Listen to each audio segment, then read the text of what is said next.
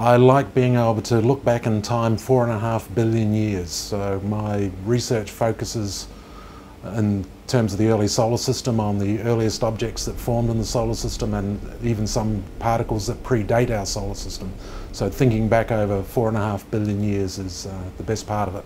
I'm on the Hayabusa space mission, so I am currently looking after the logistics of a space mission and uh, looking forward to receiving materials back from an asteroid which is in close proximity to the Earth at various times.